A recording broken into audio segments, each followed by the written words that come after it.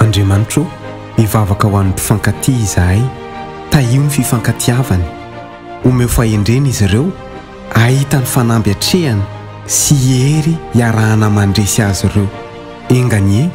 ny fitiavanao, amen ny fifandraisany, ary anampy azy ireo hivoatra ary ampio izy ireo hankasitraka anao amin'ny zavatra rehetra, ary ianao hanampy azy ireo hatanteraka ny tanjony, ampio izy ireo hahita fiadanana amin'ny fitiavany ary hitodika aminao rehefa miatrika fotoan-tsarotra.